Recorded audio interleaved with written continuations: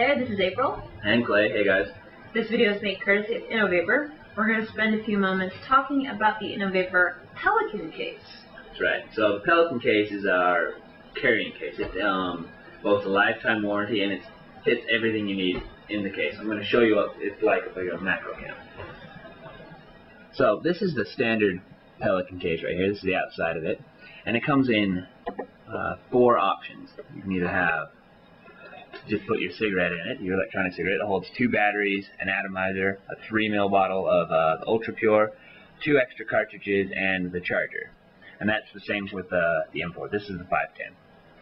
Then you can put six 3 ml bottles in it if you just want just a whole bunch of fluid. And the last option is uh, for the M4 uh, charging case. You can actually we can put the the charging insert into the Pelican case for an upgrade of ten dollars.